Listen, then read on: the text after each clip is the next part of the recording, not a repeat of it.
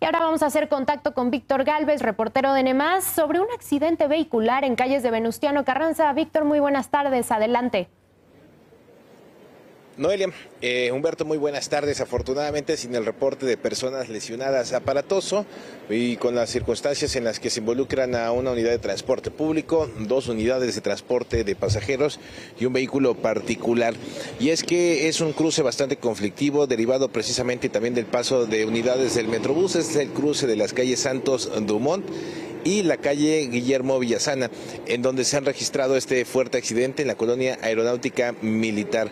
Afortunadamente, bien lo mencionaba, sin personas lesionadas por intentar pasar o ganarle el paso a esta unidad de transporte público, pues desafortunadamente es impactada las otras unidades. Ya han llegado los seguros, ya se encuentran en el lugar elementos de la policía de Ciudad de México. Afortunadamente el accidente lo han orillado para evitar mayor complicación en una zona de por sí conflictiva en el ingreso hacia la zona de hangares del Aeropuerto Internacional de la Ciudad de México. Así la información que tenemos desde la alcaldía Venustiano Carranza. Muchísimas gracias, Víctor, y qué bueno que no hubo personas lesionadas. Estamos pendientes.